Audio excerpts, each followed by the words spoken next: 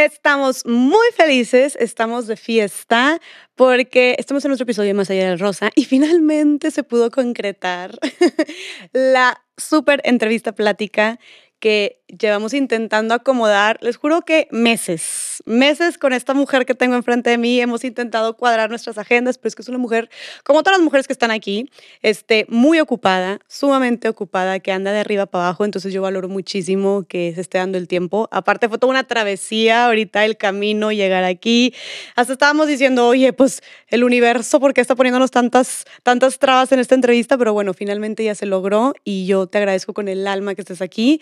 De verdad, esto nos va a hacer todavía valorar aún más la entrevista, porque de verdad que esta mujerona está haciendo tantos cambios en México, luchando por los derechos de las mujeres, que de verdad el hecho de que nos esté regalando un poquito de su tiempo y de lo que sabe es algo sumamente valioso y preciado. Entonces te agradezco mucho por estar aquí. Y bueno, ella es, sin más preámbulo, es fundadora y directora del Centro Nacional de Capacitación Profesional y Liderazgo de las Empleadas del Hogar.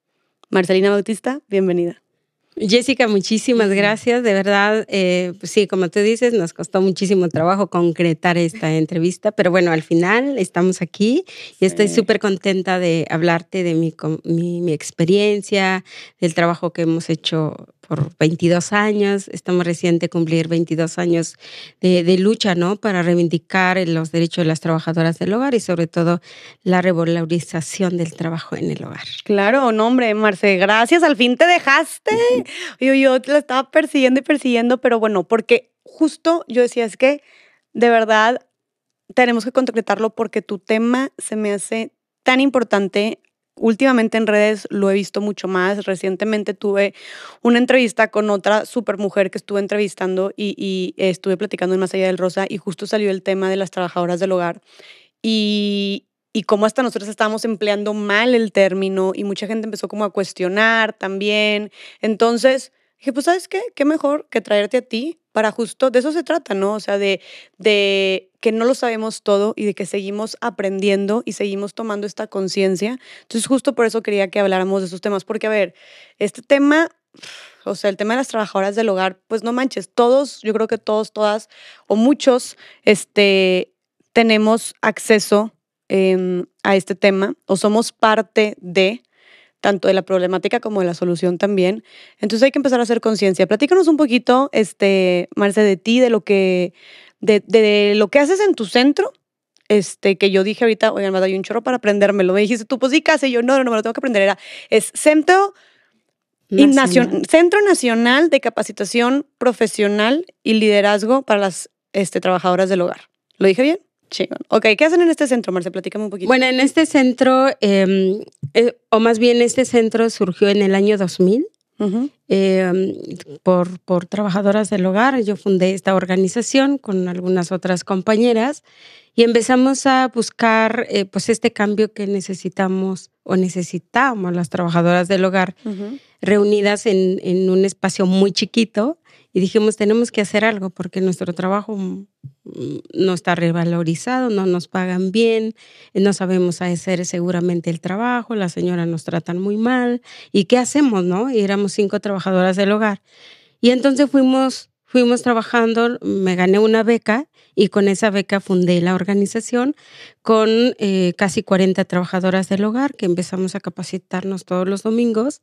Y entonces nos, nos dimos cuenta que no era ni bronca de las empleadoras, ni bronca de nosotras, era una, una cuestión estructural en el cual pues no se contempló nuestros derechos en la Ley Federal del Trabajo, por ejemplo. Y entonces, pues, ¿de dónde las señoras iban a decir, pues, ustedes tienen derechos como nosotras, como trabajadoras en alguna parte, ¿no? Ok. Y nosotras empezamos también un área de incidencia para modificar las, las, leyes, eh, incidir para ver políticas públicas que se implementaran para que se visibilizara nuestro trabajo como tal. Poco a poco empezamos a eh, eh, capacitarnos como trabajadoras del hogar, también contactar a otras personas empleadoras que estaban buscando trabajadoras del hogar. Y entonces... Em, Así comenzamos esta organización y creamos varios, varios espacios. Por ejemplo, comenzamos con, una, con un área de asesoría jurídica, colocación para, para mejorar las condiciones de las compañeras, capacitación, difusión en los parques, incidencia para cambiar las leyes y todos estos eh, temas empezamos a trabajar y poco a poco avanzamos hasta visibilizar pues toda esta cuestión invisible de que nadie conoce nuestros derechos dentro del trabajo y se oye bien bonito que nos llamen domésticas desde su, su concepción, por ejemplo, o mi empleada o mi muchacha o todas estas formas también peyorativas que nos nombran como, como, como un sector. Y entonces fue una de las cosas que hicimos también de reivindicar el nombre, no llamarnos con todos esos nombres despectivos que mucha gente se les antoja llamarnos simplemente para denigrar o para para discriminar, ¿no? Y entonces hicimos una campaña con cerca de 2.000 trabajadoras del hogar y preguntamos cómo quería ser llamada por la sociedad. Y muchas decían, pues sí, o sea, que quiero que me llamen trabajadoras, sujetas de derechos, que me hablen como, o con mi nombre y no ponerme nombres despectivos, ¿no? O sobrenombres. Y entonces eh, hicimos esta campaña y uno de los nombres que eh, ganador fue el de trabajadoras del hogar, empleadas del hogar, y surge la organización en el año 2000 y le pusimos CASE, Centro Nacional para la Capacitación Profesional y Liderazgo de las Empleadas del Hogar.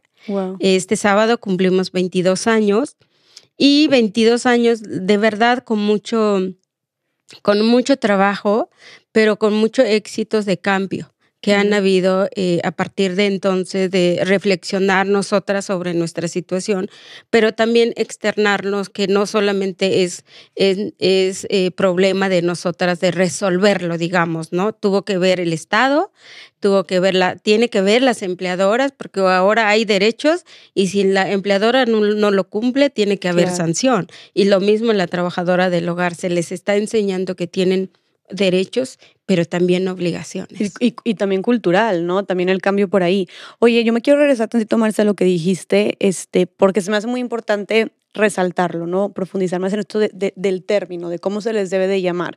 Justo yo este, te platico aquí ya en confianza, em, que sé que como que ya te llegó por ahí, que en, este, en esta entrevista que tuve, en esta plática que tuve con, con, con una o con otra amiga, justo hablamos de las trabajadoras del hogar sin conocer que se les llama trabajadoras del hogar. Y justo utilizamos el término empleada doméstica. Yo lo utilicé, ella lo utilizó, no eran sin ninguna, o sea, con ninguna mala intención, pero claro que ahí luego, luego otra amiga que fue la que nos conectó, nuestra queridísima Bárbara, me escribe y me dice, a mí es que ese no es el término correcto, el término correcto es trabajadoras del hogar. Y yo, ah, no manches, bueno, pues pude corregir el título, lo escrito del, en, el, en el video, pero pues no, no puedes modificar lo que dijiste, ya estaba ahí, ¿no? Entonces, pero vamos a modificarlo en un futuro, por eso estamos este, teniendo esta plática. Entonces, quería justo como reafirmar contigo, el nombre correcto es empleadas o trabajadoras del hogar, y me encanta que entonces ellas lo, escogieron. O sea, fue algo como nosotros decidimos cómo llamarlo. Se me hace algo también como muy empoderante. Pero ¿por qué, por ejemplo, todavía dices tú, bueno, se puede escuchar tal vez a simple este oído se puede escuchar de que pues sí la muchacha o la servidumbre este la sirvienta todavía hay gente que dice eso pésimo pero todavía por ejemplo el término empleada doméstica yo veo que se utiliza mucho y como nosotros lo utilizamos y que no se le ve ningún mal ¿por qué empleada doméstica no debería de usarse? Eh, bueno, esto tiene que ver también justo, justo, ¿no? Eh, creo que eh, esta es la manera de ir cambiando ¿no? Estamos en, el siglo XXI y pues también son cosas que tienen que ir. Si te cuento un poco cómo ha sido es, todas estas formas que se nombran a las trabajadoras del hogar, ¿no? Cuando nosotras empezamos en el, en el año 2000, pues era, era súper normal estar escuchando mi muchacha, ¿no? O entre las empleadoras hablar de las sirvientas o cuestiones así, y tú andas tú sirviéndole la comida o el café, escuchando esa manera de cómo se están dirigiendo a ti, pues dices, o sea, nada, nada justo, nada valorado, nada consciente, ¿no? Porque todo también se hace desde esta cultura que estamos acostumbradas a decir, así decía mi mamá, así decía mi abuelita, entonces pues yo estoy acostumbrada a decir así. Y entonces, em, cuando hicimos esta campaña, pues las trabajadoras del hogar empezamos a reflexionar, tenemos que cambiar esto porque si no cambia esto tampoco vamos a tener derecho a tener derechos, porque te van a seguir diciendo con nombres despectivos. En España, por ejemplo, lucharon muchísimo para llamarse empleadas domésticas. Y ahí no hay ningún problema que les digan empleadas domésticas. Pero en América Latina es tan denigrante eh, en, cómo, cómo, cómo, les dices, es que también no es la palabra, sino la forma. ¿No? claro. Entonces, en la forma en que dice, eh, mi muchacha, pues no es, tu, no es de tu propiedad, y cuando tú dices eso, ya, ya, ya concibes que esa trabajadora empieza a decir es parte de mi familia, pero que no coma la misma comida, pero que vive en un cuarto donde no hay pues condiciones, entonces no tiene nada que ver cómo nos estás mirando y por eso también nosotras hemos luchado que se establezca una relación laboral entre eh, la empleadora y la trabajadora con derechos y obligaciones. ¿no? Bajo una responsabilidad. Y en eso quedaron las leyes. La norma internacional, el convenio 189 dice, es un trabajo basado en una responsabilidad entre ambas y con la firma de un contrato. Y lo dice nuestra nueva ley eh, federal del trabajo. Así que el nombre, ahora el nombre con la ley que se reformó en el 2019 personas trabajadoras del hogar. ¿Por qué personas trabajadoras del hogar? Para no decir este, mi trabajadora o eh, trabajadora doméstica o empleada doméstica o trabajadora del hogar, empleado del hogar, cosas así. Entonces nuestra ley queda personas trabajadoras del hogar, incluido hombres y mujeres. Ok, y la, la, la, connotación de doméstica, ¿Qué, qué, qué es lo que hay detrás de esa connotación? O sea, también porque, ok, mi muchacha me, me pareció súper, o sea, es claro, ¿no? Como que tú dices, ay, mi muchacha, pero como tú dices, no es de tu pertenencia. Aparte, pues mi muchacha o mi muchacha, ni sí, ni que fuera. Y la cuestión doméstica, tiene que ver también cómo, eh, cómo, se, cómo, cómo lo dices, por un lado, pero también la, la palabra doméstica es domesticar a, a algún animal dentro de los hogares para que conviva contigo. Y nosotras somos seres humanos, no somos animales para domesticarnos y ni siquiera tienen que decirnos cómo debemos movernos en los hogares, más bien tiene que estar basado en los derechos humanos. Wow. ¿No? Entonces, y sin discriminación, porque está muy, eh, muy a propósito llamarte con todos esos nombres porque te quieren eh, eh, discriminar, porque quieren, quieren eh, diferenciar de que esta clase, tú y yo no somos la misma clase. Y la señora te lo está diciendo muy claramente.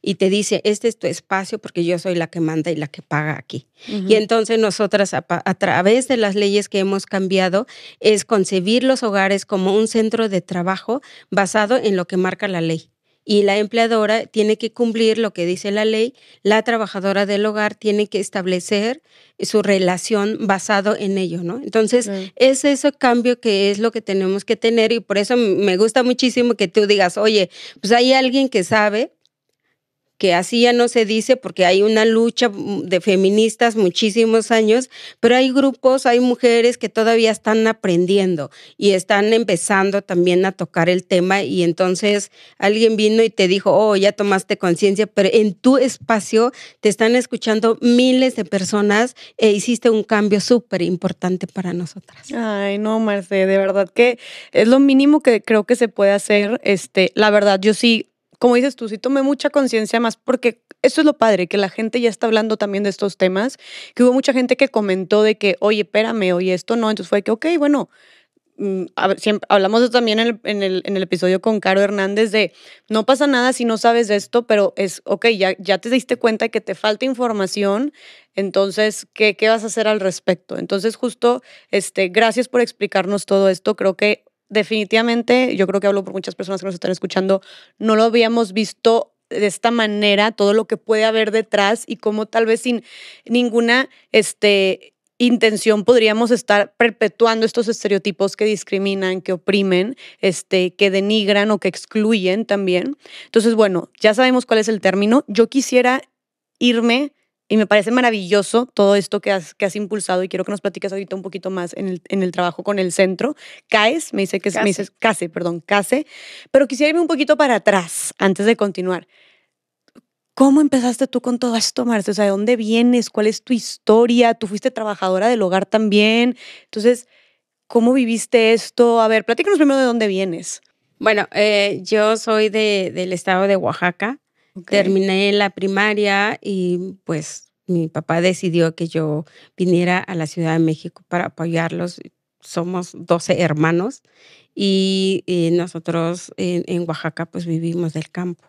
Y entonces, eh, y mi papá cuando terminé la primaria, pues dijo, tiene que irse para apoyarnos. O sea, para que fueras a trabajar y pudieras mandar dinero a tu familia. Exactamente. Y yo dije, sí, me voy y quiero seguir estudiando. Y también tenía, yo dije, quiero eh, seguir estudiando, hacer esto, y lo otro. Y tenía sueño a los 14 años. Cuando yo llegué en el primer día que entré a una casa a trabajar, porque una de mis tías trabajaba en una casa y dijo, hay un trabajo. Eh, vamos, te llevo. Y dije, ah, pues yo muy contenta, ¿no?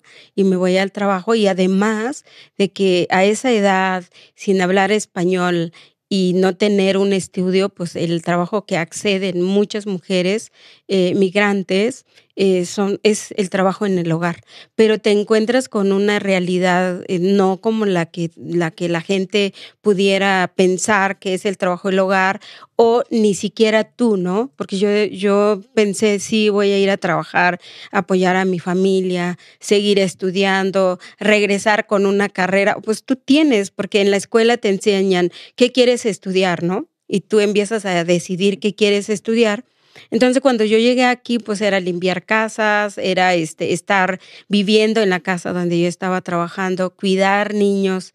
Y entonces, pues ya el sueño que, que, que yo me tracé, pues era, primero no conocía la ciudad, no sabía hablar español. Y ¿Qué hablabas? ¿Qué le, Hablo mixteco. Hablas mixteco, ok. ¿Y de, qué comunidad de Oaxaca de, eres? De yo pertenezco, em, mi pueblo pertenece a Nochixtlán, y hablamos mixteco y se encuentra en la, en la Mixteca Alta de Oaxaca. Ok, entonces, bueno, tú sales de tu comunidad, vienes acá a Ciudad de México, un lugar completamente nuevo, este, dices que trabajas limpiando casas, em, este, cuidando niños, pero ¿cuántos años tenías cuando empezaste a hacer esto? Llegué eh, cuando cumplí 13 años. Eras una niña. Entonces, a los 14 años entré en esta casa. Pero terminaste la primaria, dijiste. Sí, terminé Hasta la, primaria. Sí, terminé la primaria. Dije, voy a estudiar pero pues yo dije, me, manda, me van a mandar a una escuela, no conozco cómo regreso al trabajo. De hecho, mucho tiempo viví en el trabajo, no me podía ir a la casa de mi tía porque no conocía cómo tomar un camión o, o, llegar, ¿no? A la casa de mi tía. Entonces, pues sí, fue, es una realidad que muchas veces las trabajadoras del hogar nos encontramos, pero eh, nos sentimos eh, arropadas en una casa que pues ahí no te va a pasar nada, pero puedes vivir este, explotación, puedes vivir discriminación, acoso sexual, por ejemplo, acoso laboral por parte de las mujeres en los hogares. Entonces, o sea, te, te quedas con, con algo eh, a lo mejor bueno porque tienes un lugar, pero no, no pasa por desapercibido percibido pues estas formas de trato que tienen las personas hacia, hacia una trabajadora. ¿no? O sea, como que tú lo que tú estás haciendo es como tú encuentras, vienes con ciertas necesidades, tratando de, cubrir ciertas necesidades como es ganar dinero para que tú, ayudar a tu familia a subsistir. Entonces dices tú, bueno, tengo cuatro paredes, tengo una cama, un lugar donde, donde dormir, puedo estar recibiendo comida. Entonces como que eso hace que tal vez tú puedas quedarte ahí. Sin embargo, dices que muchas veces dentro de ese hogar o de ese lugar seguro que tal vez pueda como cuidarte un poco o, te haga sentir que tienes un lugar donde estar, pueden estar pasando muchísimas otras cosas que están atentando contra tus derechos. Sí, y, y sucede ahora. O sea, son, son cosas que no se ha podido cambiar porque en los hogares pues no hay, un, no hay una ley que rija cómo debe de comportarse las familias. Y peor, ¿no? Cuando hay una persona al cual tú eh, eh, pues delegas, ordenas, pagas para que haga este trabajo, entonces si no lo hace bien, pues es es, no, es, es, es cuestión de, de, también cómo, eh, cómo se establece una convivencia dentro con las trabajadoras del hogar. No generalizo, por supuesto, y yo soy una persona que vivió ese problema, esa problemática y estoy aquí para cambiar todo eso, que no quiero que le pase a mis compañeras y quiero que suceda, eh, que tome conciencia, ¿no? Las personas empleadoras. ¿Qué fue lo que viviste tú, Marce? Llegas a, llegas a Ciudad de México, empiezas a trabajar en una casa, limpiando, cuidando a los niños y niñas. ¿Qué fue lo que viviste tú en ese en Pues ese viví caso? más explotación porque yo era, eh, pues era una niña y la empleadora decía, no, pues eres muy ágil, eres muy rápido y entonces así se trapea, así se lavan los carros, así la alfombra, así todo. Entonces, pues prácticamente, ¿no? Eh, tiene ventajas y desventajas estar trabajando en una casa. Entonces, lo mejor es que se rija bajo una, una ley este trabajo y entonces, bueno, esos cambios lo hemos, lo hemos logrado, necesitamos que medios como el tuyo haga conciencia a muchas personas para que también digan,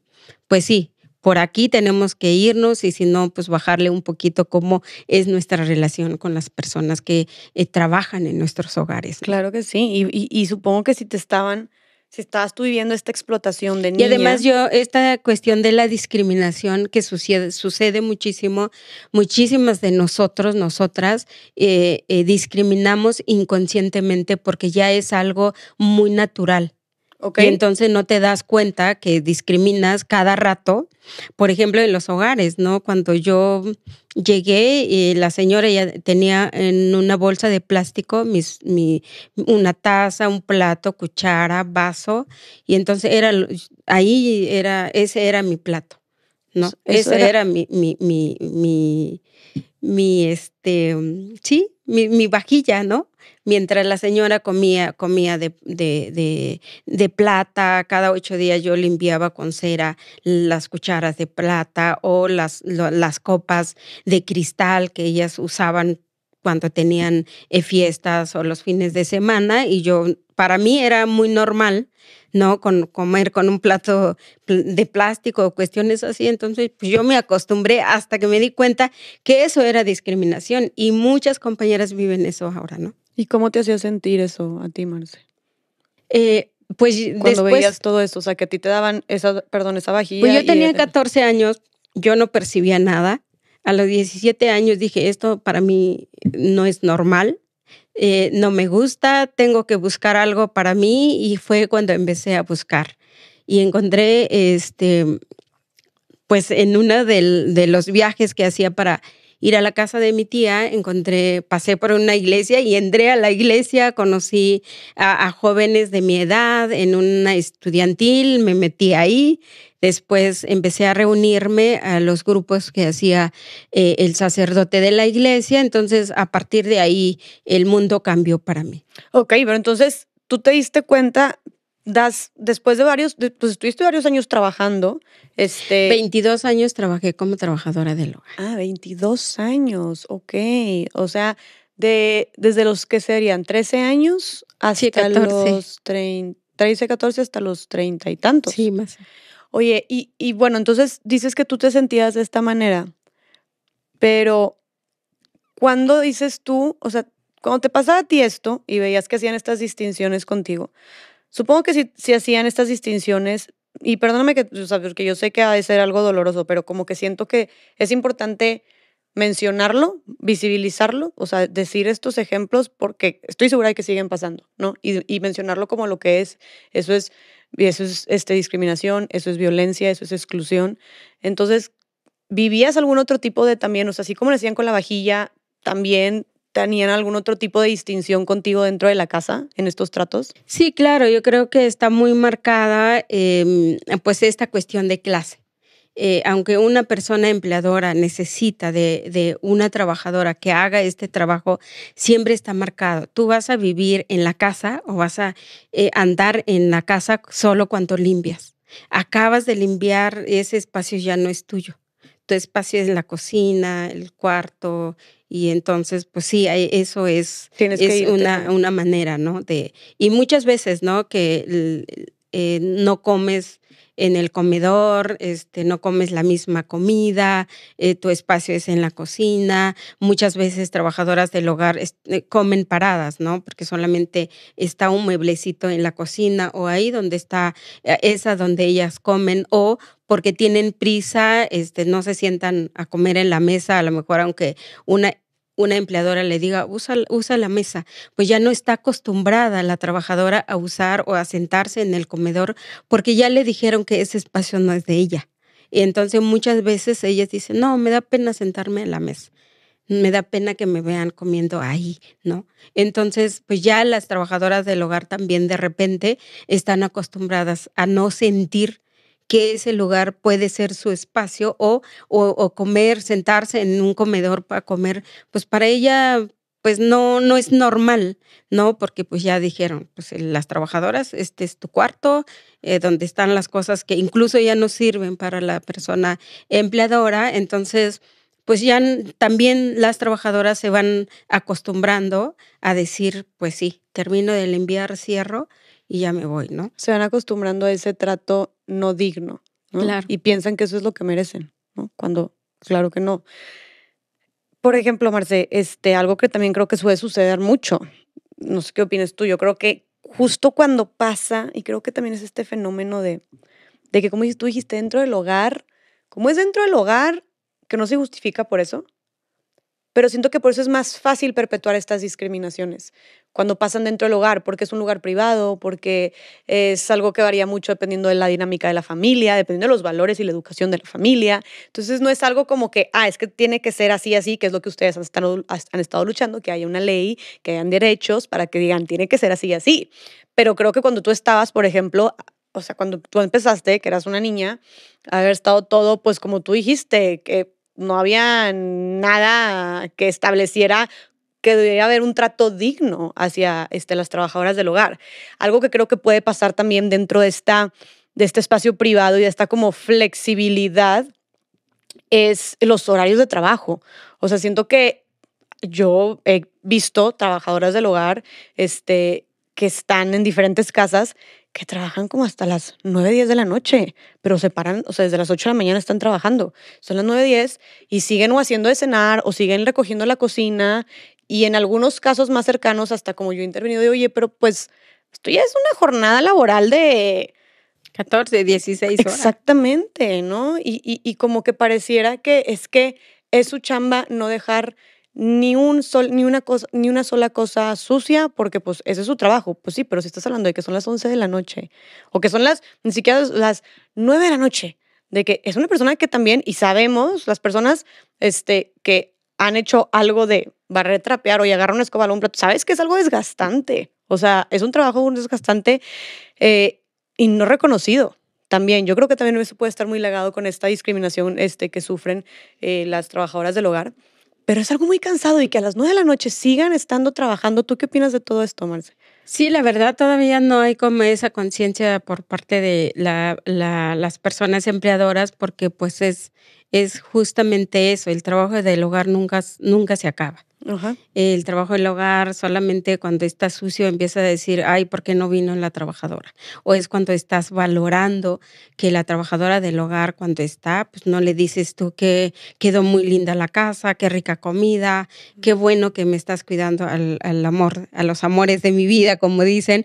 Entonces, em, es justamente eso, ¿no? Por eso cuando nosotras, muchísimos años llevamos a los cambios que hoy tenemos en la Ley Federal del Trabajo, donde se, se, se, agregan o se reconocen todos los derechos de las trabajadoras, todos los derechos que tiene cualquier persona. No hay diferencia porque luego nos dicen, ¿cuáles son los derechos de las trabajadoras del hogar?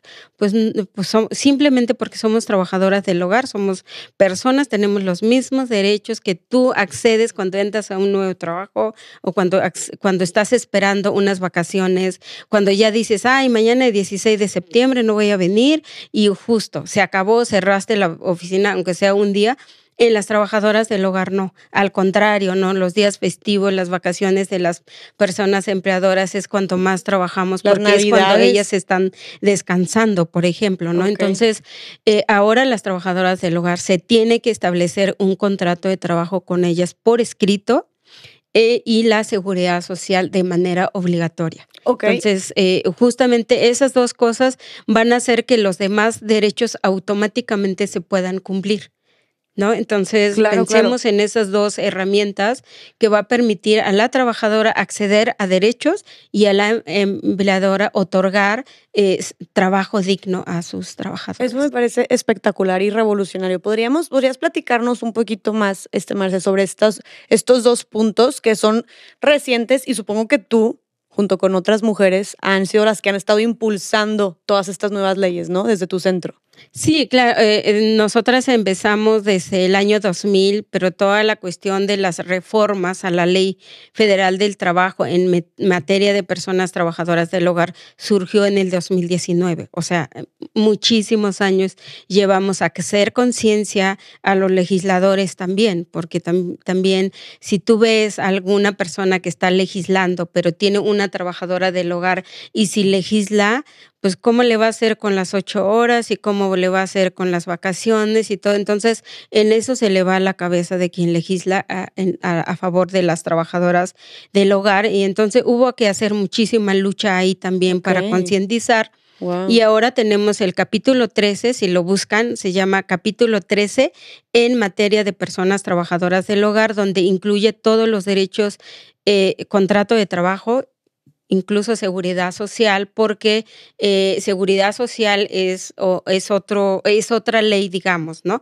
Y entonces eh, derechos laborales, pues forma parte de la, de la ley federal del trabajo. Entonces, em, buscamos que se firme un contrato porque hay, hay tanta arbitrariedad de que la trabajadora del hogar, cuando no hay esta forma de... Em, establecer su, su, relación laboral, pues sucede también con la persona empleadora, ¿no? La trabajadora puede decir, ¿sabes qué? Yo ya no quiero trabajar aquí y puede ir a demandar a una persona aunque lleva cinco o seis semanas porque, su, porque la persona empleadora hace lo peor. ¿No? Es decir, llevas 20 años, 30 años, 60 años en un trabajo y te dicen, pues sí, prueba a ver cómo, cómo vas a demandarme si yo, tú no tienes un contrato de trabajo.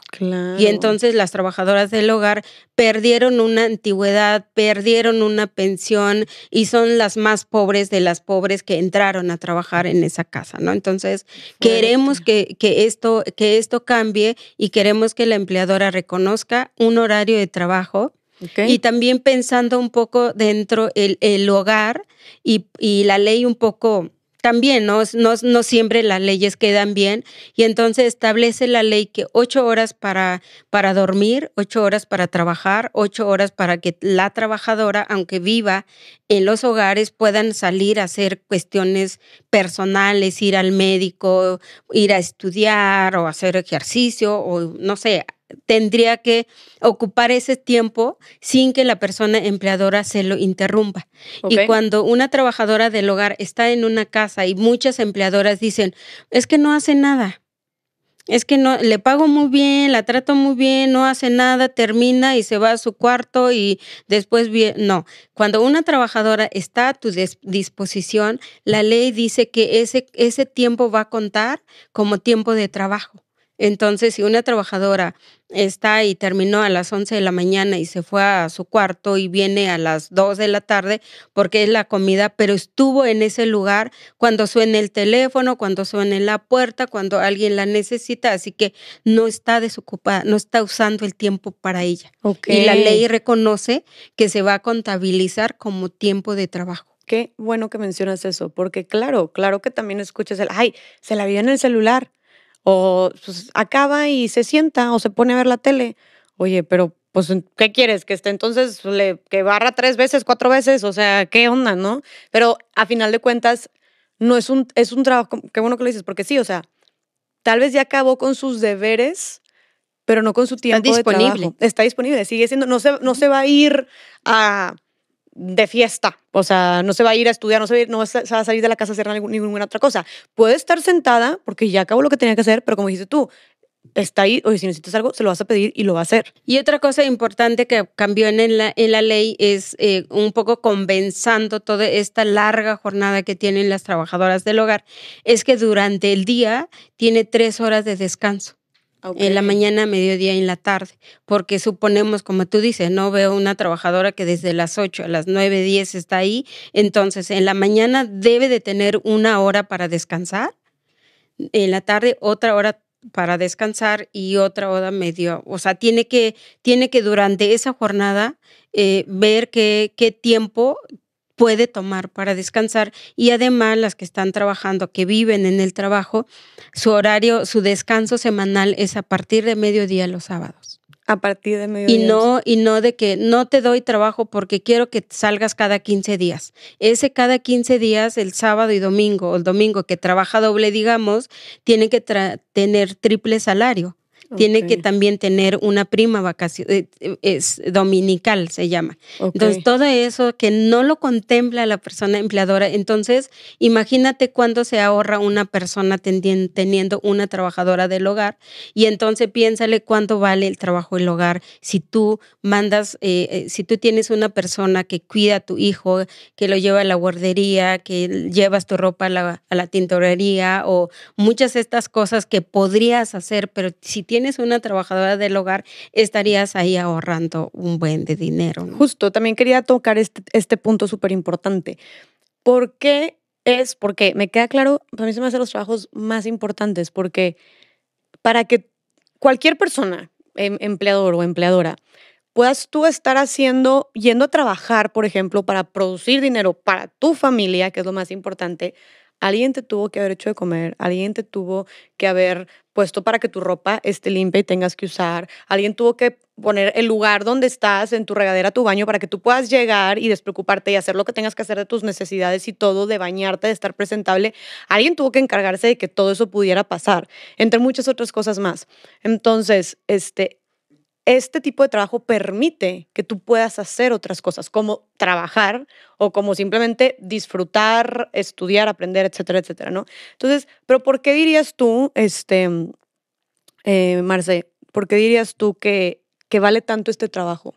Tú desde tu perspectiva. Sí, es uno de los trabajos más importantes y más valiosos que todo el tipo de trabajo, porque esto permite a que nosotros estemos sentadas aquí y hablando de cambio cultural, social, económico, político y de todo.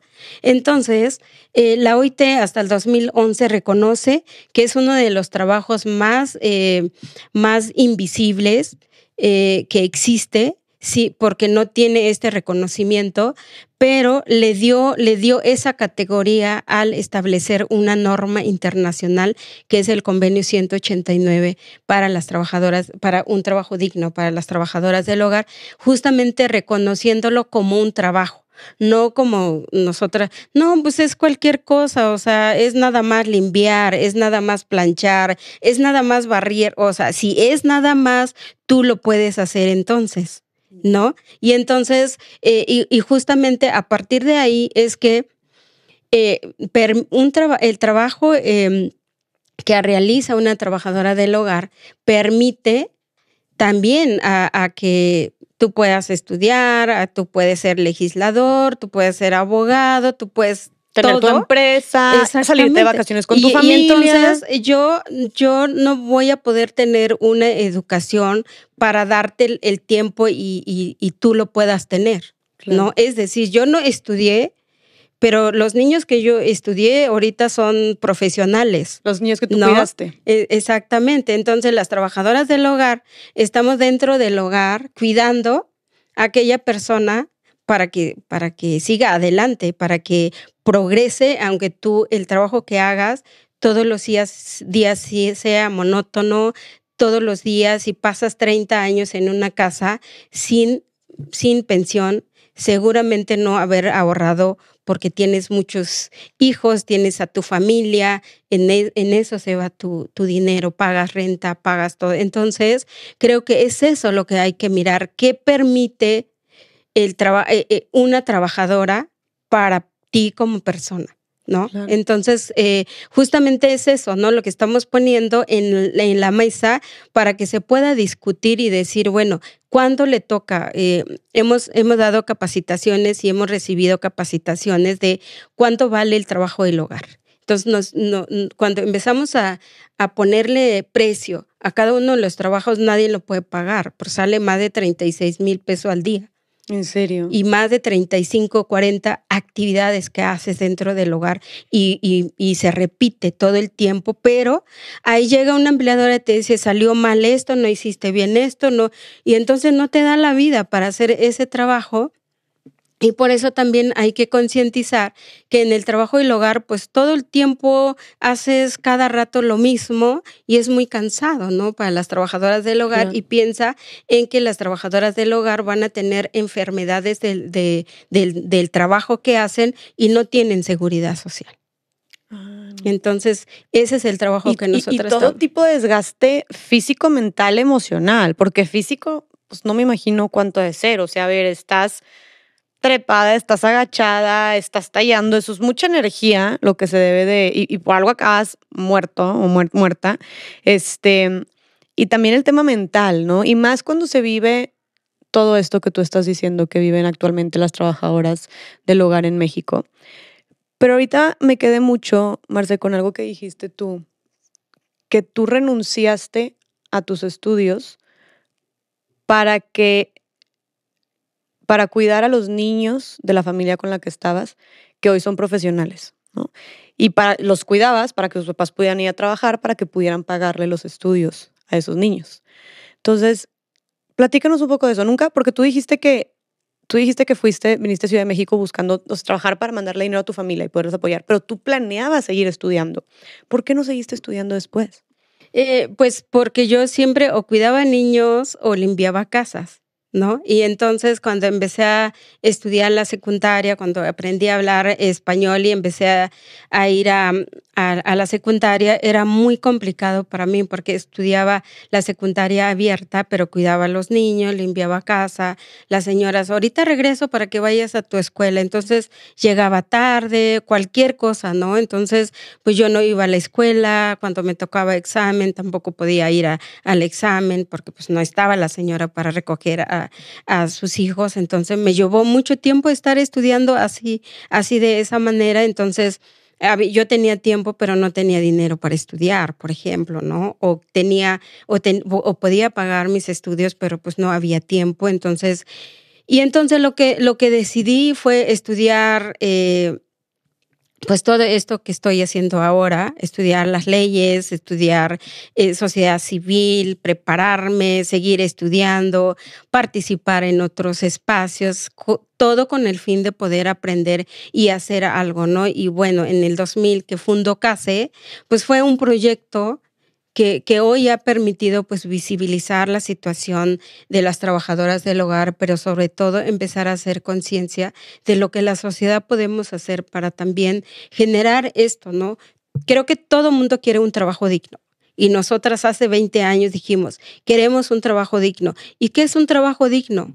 ¿No? Lo único que queríamos nosotras era que nos pagaran bien y que nos trataran bien. Y entonces empezó, empezamos a escuchar empleadoras que decían, es que ellas no duran en los trabajos. Por supuesto que no vas a durar en un, un lugar donde no te traten bien. Y donde no te paguen bien. Claro, ¿no? Entonces las trabajadoras no se cambian por gusto, se cambian porque tienen, buscan un lugar donde las traten dignamente, ¿no? Entonces, eh, y, justamente es eso, lo que estamos ahora.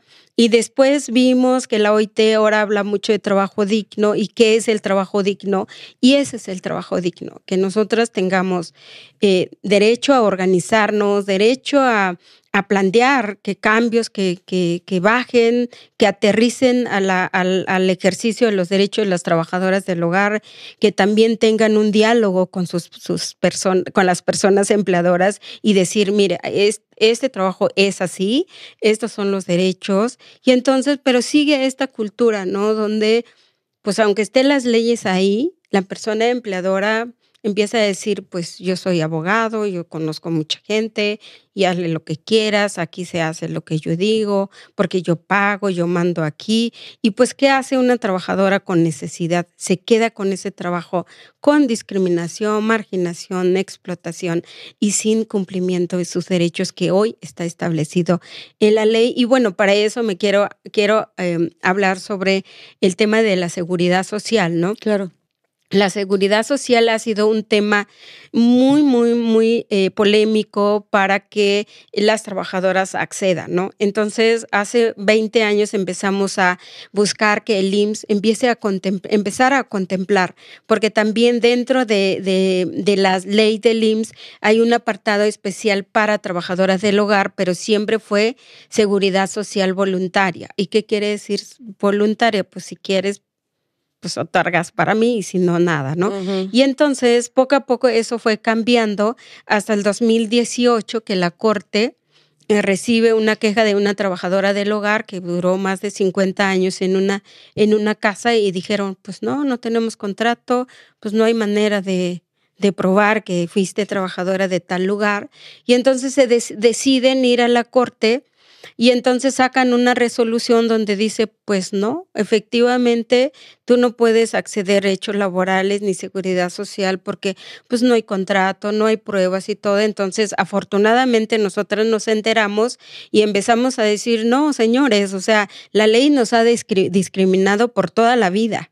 ¿no? De manera estructural, discriminó a este sector. Y si esto sigue así y hay una resolución así, vamos a seguir por toda la vida así. Claro. Y entonces sé que reconoce eso y la Corte reconoce anticonstitucional que la Ley Federal del Trabajo no contemple todos los derechos y la Ley del Seguro solamente nos, nos dé voluntario. Claro. Y entonces ordena al IMSS un plan piloto y reformar la ley del seguro social y ahora en esta legislatura esperemos que sea aprobado para que ya en el siguiente año sea obligatorio el derecho a la seguridad social para las trabajadoras del hogar. Entonces, hoy se cuenta con un plan piloto que ha costado muchísimo que la persona empleadora asegure a los trabajadoras. Siempre dice, no, eso no funciona, esto es, no es ley todavía. Y entonces, pues es muy poca las trabajadoras que, que están accediendo al seguro social. En México hay 2.2 millones de trabajadoras del hogar. El 98 el 98% son mujeres, no cuentan con seguridad social, ni contrato, ni los demás derechos. Entonces es urgente que hagamos una conciencia de que qué tan importante eh, es alguien que realice este trabajo para que yo pueda hacer otra, ¿no? Y, entonces reconocer que al Producto Interno Bruto también indirectamente las trabajadoras del hogar aportamos, ¿no? tienes más o menos una idea de cuánto es lo que ustedes aportan? Entendimos que el trabajo doméstico como, como tal, general, general, digamos, porque eh, también quiero diferenciar trabajo remunerado y no remunerado. El que hacemos nosotras en la otra casa que no es la nuestra es remunerado porque nos pagan para hacerlo. Pero el que haces tú en tu casa, hago yo en mi casa, es gratuito, nadie nos lo paga. Pero también si, si se le pagara a esa mujer que está ahí, que es ama de casa y que dejó su profesión para cuidar a su familia, cuidar a su casa, pues eh, es un buen de dinero. Entonces, eh, si, si se le pagara a ella, pues imagínate el costo que esto tiene, ¿no? Y por eso eh, se contabiliza y entendí que el 22% es, es la aportación del trabajo eh, doméstico al Producto Interno Bruto. El 22%, estás hablando que es un quinto, es muchísimo, es un chorro, no tenía idea de todo esto. Claro, porque indirectamente todo lo que impacta para que se pueda desarrollar otras actividades que tal vez están ya más formalmente como en la economía. O sea, para que la gente, como dijimos, como dijimos, para que la gente pueda salir a jalar, alguien tiene que estar en, adentro, en lo privado, haciendo todo el jale detrás. Entonces, y permite que impacta eso directamente en el Producto Interno Bruto. Debería de ser también que impacte directamente en el Producto Interno Bruto. Y esto sostiene, o sea, este trabajo sostiene eh, a la sociedad. Imagínate que dejaras de hacer el trabajo pues no bien sin ropa, sin planchado, comida, casa limpia, comida. Entonces sí, yo creo que falta muchísimo reflexionar en este tema, ¿no? Y quién lo está haciendo. ¿Y, y por, qué, por qué, Marce, crees tú que se desvalorice tanto este trabajo? O sea, ¿por qué, por qué otros trabajos sí están, este, tienen este, están dados de alta o porque otros trabajos sí tienen estas leyes? Pero ¿por qué el trabajo, este, sí se le dice el trabajo doméstico? O sea, cuando hablas de las trabajadoras del hogar, es trabajadores, pero si dices trabajo doméstico a lo que hacen las trabajadoras del hogar, ¿por qué el trabajo doméstico estará tan desvirtuado o poco valorado?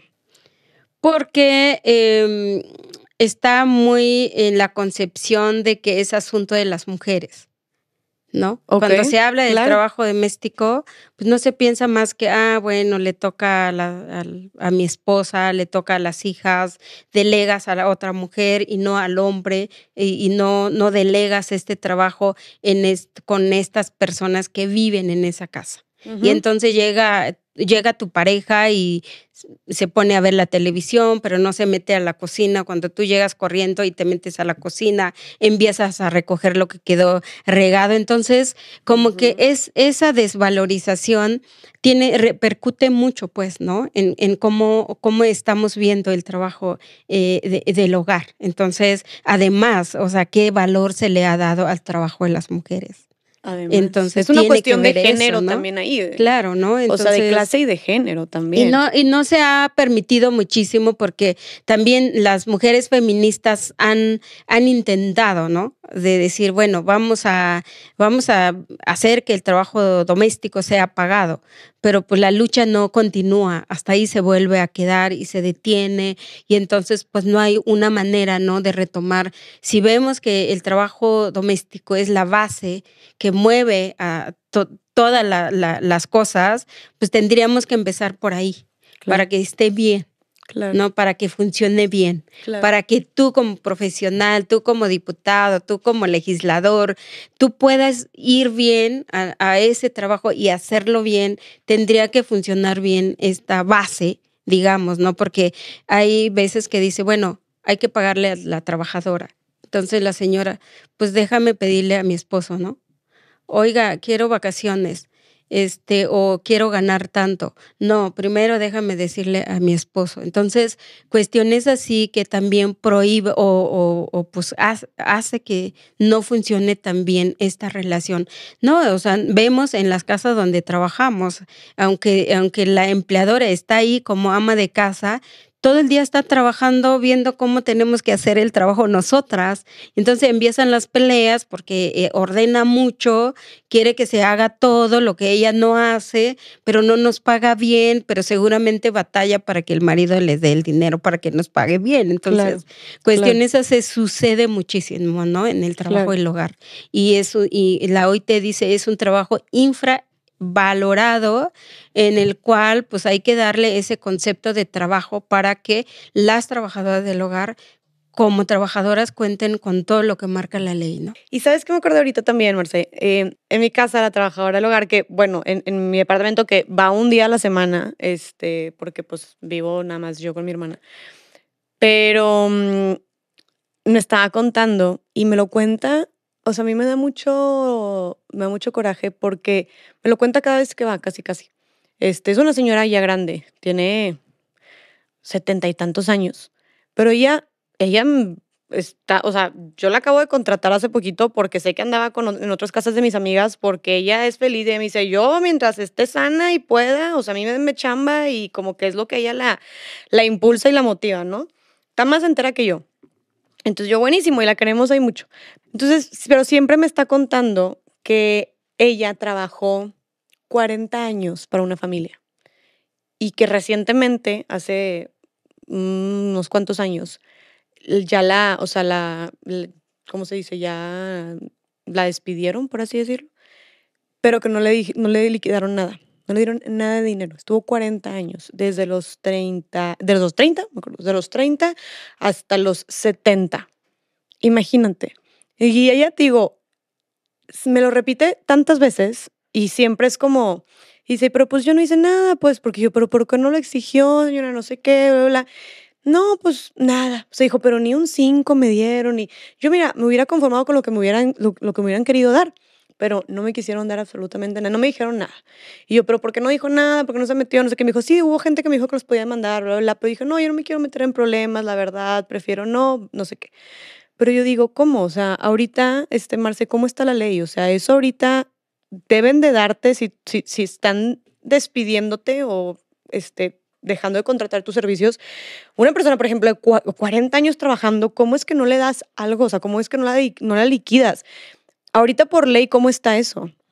Sí, pues eh, volvamos a lo mismo. Es una cultura y es una manera también de que eh, muchas personas empleadoras saben que eh, tener a una trabajadora con muchos años, como, como, como esta señora, pues, y la despide, y si ella no dice nada, qué bueno, ¿no? Para la empleadora, porque la empleadora sabe que tiene que liquidarlas. Porque imagínate, em, una empleadora que trabaje 40 años en una casa, en, en, una empresa, y la empresa le diga, ya no te vamos a contratar, lo primero que va a exigir es su liquidación. Porque le están diciendo, ya no te vamos a contratar o ya no te vamos a ocupar, ¿no? Lo mismo una trabajadora del hogar. Y entonces la trabajadora del hogar tiene derecho a tres meses de em, indemnización constitucional, 20 días de salario por cada año de trabajo, okay. 12 eh, días por, por cada año de trabajo con dos salarios mínimos, más las vacaciones, el aguinaldo, eh, todo eso, todo eso se suma y es la liquidación de una trabajadora. Eh, muchas personas empleadoras y abogados eh, no, no contemplan los 20 días que una trabajadora del hogar también tiene derecho a recibir. Y eso porque de repente dice, ah, es que no estamos demandando, pero la situación de una trabajadora en una casa es que eh, es, es como de mucha confianza. Y la ley dice que la persona de confianza en cualquier trabajo, que solamente existe dos, dos trabajo el hogar y no creo que administradores, eh, son las personas que deben de recibir, porque ese, ese 20 días, porque ya no, ya no eh, se reinstalan en el trabajo, porque ya hubo, hubo una una ruptura, digamos, laboral. Entonces, sin embargo, hay abogados que dicen que no, y entonces es la pelea que nosotras tenemos, porque así dice la ley, nosotras tenemos que contemplar esos 20 días para las trabajadoras. Y entonces, imagínate 20 días tres meses por el salario que ganas, 12 días por los 40, 60 años que llevas en una casa, pues esa es tu liquidación porque no te dieron tu eh, seguridad social, porque si hubiera tenido seguridad social, tranquila se va jubilada y tú ya aportaste cada año durante estos años, entonces tú ya no tienes que darle nada a la trabajadora porque se va con su jubilación. Claro. Y sin embargo, no se entiende eso, eso ahora y por eso es tan importante para nosotras que una trabajadora despedida de manera injustificada tiene que recibir su liquidación. Y para eso voy rápido para hablar sobre una plataforma que tenemos que se llama Dignas, que es el asistente para las personas empleadoras y trabajadoras del hogar, que les enseña todos los derechos que establece la ley, qué es el horario de trabajo, qué es la seguridad social, qué es el diálogo, qué es un trabajo digno, qué es el convenio 189. Entonces, en pocas, muy pocas eh, palabras, le enseñamos a las trabajadoras, a las empleadoras cuáles son esos derechos y tenemos una, una liga donde trabajadoras y empleadoras pueden acceder al sitio, al micrositio del IMSS para registrar a las trabajadoras del hogar. Ustedes también desde... Tenemos esa aplicación. Ustedes la hicieron. Sí, nosotras hicimos y lo estamos ahorita, lo estamos este, eh, publicando, lo estamos promoviendo para que también ya viene el aguinaldo. Ah, eh, y entonces hay mucha complicación para el, para el cálculo de los aguinaldos precisamente porque hay trabajadoras que van solamente un día a, a un trabajo, pero llevan cinco o seis años. ¿No? O, van toda la semana, o van de muy de vez en cuando, pero llevan mucho tiempo contigo, ¿no? Por ejemplo, si dices, viene solamente un día, pero llevo seis meses con ella y llega diciembre y le toca aguinaldo, ¿cuándo le debo de dar? Y entonces tú pones dignas, pones la fecha que entró la fecha que le estás haciendo ese cálculo, el pago que le estás dando a la semana, inmediatamente te arroja cuánto le tienes que pagar de manera proporcional y nadie estaba usando de nadie porque así está calculando La, ley en la calculadora. Entonces, esa es la aplicación que se llama Dignas y lo pueden bajar en los teléfonos Android. Wow, neta, mis respetos. Qué chingón. O sea, eso es utilizar la tecnología para dignificar tal cual a las personas. Qué padre. 100% lo voy a utilizar porque claro que tengo esa duda. Este, no, si llevo como unos que cuatro meses este, con esta señora eh, y, y sí, viene una vez a la semana. Entonces, claro, se acercan a Aguinaldo, se acerca diciembre para toda la gente. Sí, además si la, si, la señora decidiera, ¿sabes qué? Ya no quiero trabajar, ya me voy a ir, ah, órale, te calculamos el finiquito, porque cuando ella tiene menos de 15 años y dice, me voy, ya no quiero trabajar aquí, agarras dignas y pones finiquito y ya te arroja el finiquito. Pero si tú le dices, ¿sabe qué, señora? Ya no te voy a ocupar, así que órale, ya no tenemos una relación, te vas a la calculadora, pones liquidación, entonces le pagas sus tres meses, le pagas lo proporcional, no, no todo como estuviera muchos años más, y ya te arroja el pago que le tienes que hacer y muy justo, ¿no? Eso también en Dignas. Sí. Qué revolucionaria herramienta, me encanta. O sea, para todo lo que tengamos de dudas de qué le tenemos que pagar de diferentes temas o servicios a las, a las trabajadoras del hogar, con Dignas lo podemos checar, para que sea de manera justa y digna. Me fascina, porque justo esta, esta, esta señora me, me dijo a mí, cuando me estaba contando todo esto, me dijo, y fíjate, un, un amigo, no sé quién, este me dijo, le, le hizo el cálculo de cuánto, cuánto me hubiera tocado si me hubieran liquidado. Y eran más de 300 mil pesos, me dijo. Así. Y yo, ¿qué? Le dije, es una la nota. Le dije, señora, vas, ¿sabes? O sea, de que cómo, porque le, está, le habían ofrecido ayuda, te digo. Y, digo, también me dijo que luego ahí los abogados como que se quieren transear. La verdad no sé, pero le dije, ¿por qué no? Porque no hizo nada, te digo, fue hace ya algunos años. Sí, es que, es que hay mucho desconocimiento. Y si tú, eh, o sea, de por sí la trabajadora tiene desconocimiento, va con un abogado o el administrador de la, de la familia, le hace el cálculo, no lo hace bien, no está pensando en la situación real de las trabajadoras del hogar está pensando en general de, los, de las personas trabajadoras y no es así. Hay los derechos no cambian para las trabajadoras del hogar. Hay condiciones que sí, por ejemplo, en, en una oficina, pues no, no cuidas niños, no lavas, no planchas, no cocinas. Claro. esa es la diferencia. Pero en los derechos no hay diferencia. Entonces, la, y, pero en las trabajadoras del hogar por la cuestión de que va un día, dos días, o está de entrada por salida, o vive en la casa. Entonces también esa es la diferencia y bajo esa diferencia tienen que pensar en los cálculos de las trabajadoras del hogar. Pero ¿sabes qué fue lo que a mí más me impactó de todo esto? Y algo que se me quedó mucho porque, o sea, fue la respuesta de esta señora cuando le dije eso de que, ¿por qué no hizo nada? ¿Sabes qué me contestó? Me dijo, pues ya, me dijo, a mí no me gusta meterme en problemas. Y me dijo, pobre nací, y pobre me voy a morir. Y esa fue su respuesta.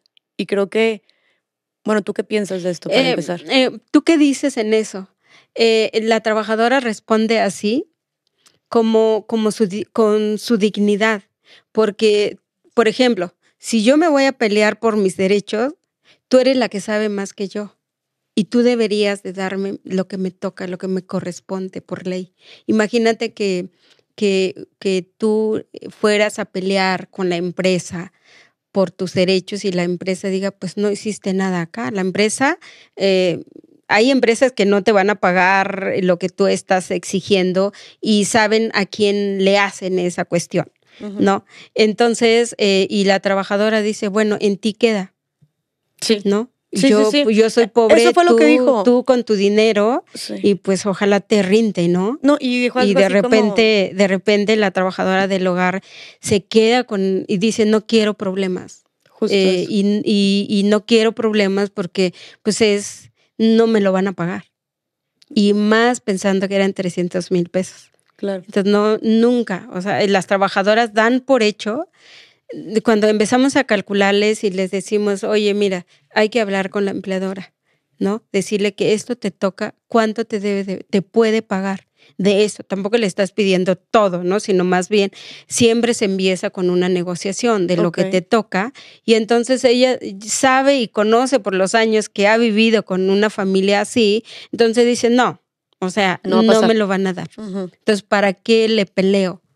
Y entonces, pues no hay nada que hacer. Cuando una trabajadora también te dice eso, porque pues tampoco nosotras vamos a obligar, es, es bajo lo que ella decida, porque sabe con qué familia trabajó, sabe si tiene, sabe si no tiene, entonces también respetamos esa parte de las trabajadoras, pero sí hay que concientizar a la persona empleadora y por eso eh, eh, insistimos mucho que ya comiencen a darle seguridad social para que no tengan que pagar tanto dinero y, negar después ese derecho a la trabajadora. ¿no? Y sabes que también creo que esta respuesta que me dijo tiene mucho que ver con lo que tú decías al principio, de que muchas trabajadoras ya están como, tal vez no se sienten merecedoras de, o sea, como ya están conformadas con, pues es que nunca he tenido derechos o nunca he tenido este trato digno.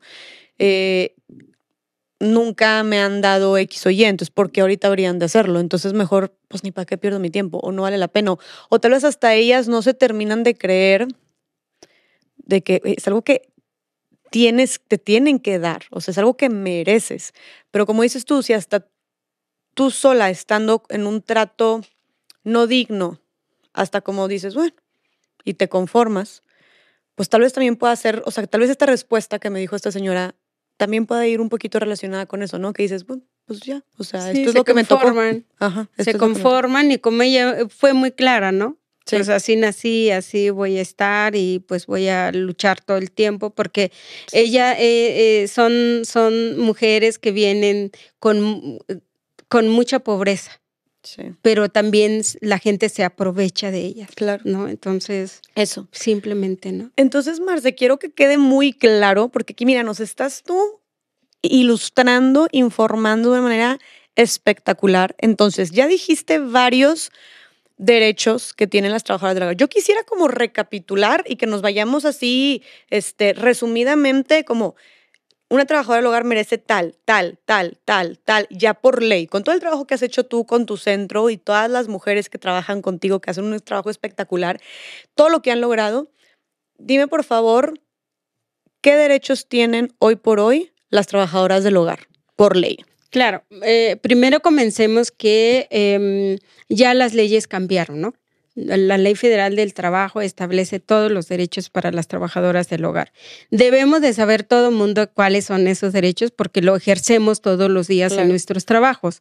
Pero olvidamos que la trabajadora del hogar también tiene o simplemente dices, ah, pues es, es una casa, no hay por qué pagarle derecho a las trabajadoras. También en el 2021 se se ratificó el convenio 189, que es la norma internacional que cuando se se ratifica en un país, automáticamente es, es una ley, digamos. Y ahí establece también eh, pues los derechos, ¿no? Para las trabajadoras del hogar, pero ya en lo mismo, pero en el ámbito internacional por la Organización Internacional del Trabajo. Recientemente eh, ya se va a contar con seguridad social obligatoria para las trabajadoras del hogar. Entonces, esas tres leyes van a regir los derechos y la forma en el que se va a eh, comportar los hogares para las trabajadoras del hogar. Además, hay un convenio que es el convenio 190 que, que también trata todo el tema de la violencia en el, en el lugar del trabajo. Es que eso es y vamos, A, vamos a usar ese, ese, ese convenio para todos estos tipos de violencia que viven las trabajadoras del hogar. Además que es un convenio muy importante para todas las personas trabajadoras en todos los espacios. Oye, abuso psicológico, explotación, abuso sexual, también ¿Qué, tanto acoso y abuso sexual también sufren las trabajadoras Imagínate que nosotras eh, antes para participar en, la Organización Internacional del Trabajo, en la discusión de este convenio, hicimos un, un, estudio, un, grupos grupales en cinco países de América Latina y encontramos 17 formas de violencia que viven las trabajadoras del hogar y dónde tienen más peligro de violencia en el hogar. Por ejemplo, hablan de la cocina, hablan del baño o de las recámaras y entonces reconocen que desde que la señora cómo le, cómo le ordena que haga un tipo de trabajo con mala gana, para ellas es violencia. Y entonces hay que considerar eso, ¿no? Desde donde él siente las trabajadoras del hogar denigradas por cómo les tratan, cómo les dicen y eso. Y entonces, eh, este, este, este convenio para nosotras es importantísimo y ya se ratificó en México. Entonces, eh, es, esas son herramientas que vamos a utilizar para hacer valer los derechos de las trabajadoras del hogar, ¿no? Claro. Entonces, ¿cuáles son esos derechos de las trabajadoras del hogar? Primero, em, contrato de trabajo. Por escrito debe de ser y pueden encontrar ese contrato en nuestras páginas en www eh, .case.org.mx. Ahí están los contratos que es de planta, entrada por salida. También pueden encontrar un tabulador de salarios donde hemos especificado por categoría cuánto vale cada trabajo que va a realizar la trabajadora conforme a su nivel de conocimiento y también la demanda que tenga una empleadora, ¿no? Por ejemplo, quiero solamente limpieza y cuánto vale, ¿no? O quiero que sea chef o quiero que sea una persona que sepa poner eh, cuidadora, pero que sepa poner medicinas, hacer... Eh, eh, dietas para las personas enfermas, entonces pueden usar este tabulador de salario que también lo pueden encontrar en todas nuestras redes sociales. Ahora sí que nos están dando todas las herramientas ¿eh? para y, no andar con cosas. Y otro de los derechos ¿no? de, que tiene la trabajadora del hogar, esto que hablábamos, ¿no? una jornada de trabajo de ocho horas y si eso no es tan posible dentro de los hogares, se tiene que otorgar las horas intermedias de trabajo, que son tres al día y salida a partir de mediodía de los sábados. Y entonces, y la trabajadora que va de planta es, es ocho horas de trabajo. Y, entonces, perdón, ajá.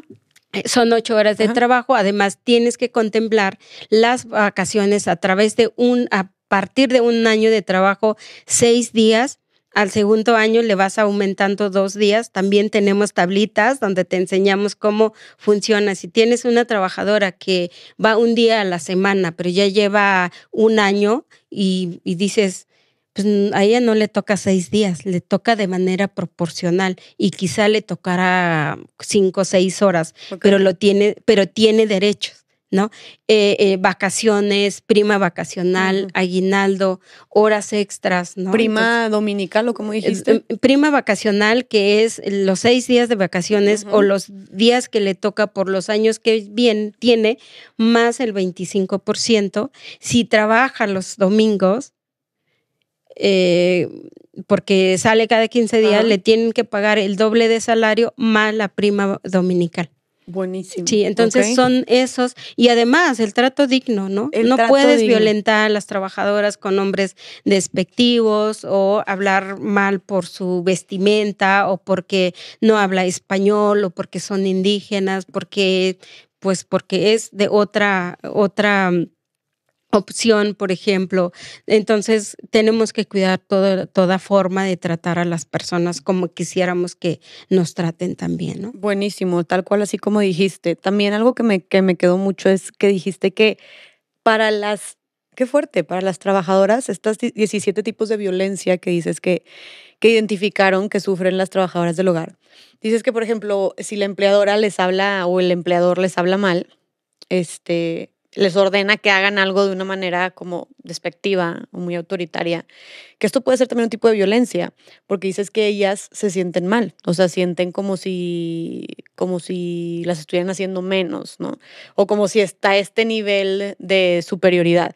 Justo te quería preguntar como, tú que convives tanto con tantas trabajadoras del hogar, conoces sus realidades, conoces este, por lo que están pasando, ¿qué podrías decir tú que qué es lo que, por lo que más sufren las trabajadoras del hogar? Las trabajadoras del hogar sufren más eh, esta violación de sus derechos, no pagarles bien, no darles buena alimentación por todo el tiempo que están trabajando, eh, este maltrato laboral y acoso laboral que tienen por parte de las, de las mujeres y hostigamiento sexual, violación que tienen por parte de los hombres. Y entonces las trabajadoras del hogar, simplemente si va una trabajadora y dice, por realizar este trabajo eh, cobro 500 pesos, pero tú le dices, no, eso es mucho, no te puedo pagar tengo 300 si quieres. Entonces ella toma el trabajo porque tiene necesidad, pero eso no vale su trabajo. ¿No? Entonces, eh, creo que es importante también pensar en eso. O que alguien diga, es que nada más es limpiar, nada, es una casita de, de 40 por, por, por 80, ¿no? Entonces, pero sí, en México no es como otros países donde los, esos, países del primer mundo está súper limpio y nada está sucio porque pues, la, que, la persona que vive ahí cuida mucho porque no tiene quien le limpie. ¿No? Cuesta más caro eh, que alguien limpie ese, esa casa. Entonces, y en México y en otros países de América Latina, ¿no? Es muy sucia las casas, es mm, eh, mucho trabajo que hay que hacer, eh, viven muchas más personas, en una casa llegan visitas y tienes que hacer doble o triple veces ese trabajo, lo mismo, o te contrataron para dos personas, pero cada rato, cada rato o cada ocho días tienes eh, visitas y no pagas horas extras o no pagas ese, ese trabajo que aumenta para una trabajadora. Entonces, pues hay muchísimas cosas que hacer, pero las trabajadoras del hogar, por ejemplo, eh, prefieren un trato digno, ¿no? Que, muchas nos dicen, ¿sabes qué? O sea, trata muy mal. Y aunque me pague 500 pesos, no, no me gustaría estar ahí, ¿no? Ah, o sea, aunque les paguen lo, lo, justo, como que lo que les duele es cómo las tratan. Cómo las tratan. ¿Qué era lo que te quería preguntar? O sea, con todos estos, con todas estas eh, faltas a su dignidad y a sus derechos y todos estos malos tratos, tú que tienes tanto contacto también con tantas trabajadoras, ¿cómo se sienten ellas? O sea, ¿cómo se te dicen que se sienten? Pues hay muchas, las trabajadoras sienten, se sienten eh, denigradas en muchas formas, eh, hablan que es muchísimo trabajo y no hay, no hay este, mm, pues no hay em, trato, ¿no? Justo. Em, hay personas que tienen problemas en el trabajo y llegan y se desquitan con la trabajadora o simplemente repercute mucho, por ejemplo, ¿no? Decir, ah, pues es que el señor de repente llegó y dijo, no, ya te voy a ocupar y está enojado, que porque no sé qué.